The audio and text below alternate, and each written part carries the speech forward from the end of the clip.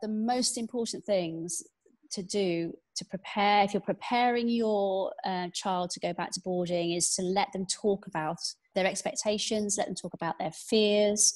Um, don't just brush aside go oh it'll be fine. Let let them express how they're how they're feeling about boarding including if they're just saying do you know what mum? I can't wait to get away from you.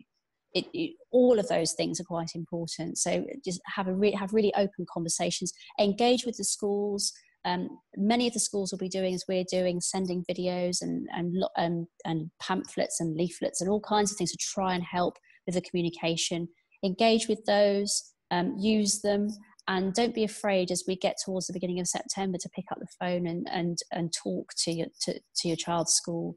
Um, you, we don't mind. The more com- the more conversations we have, then the better it's going to be.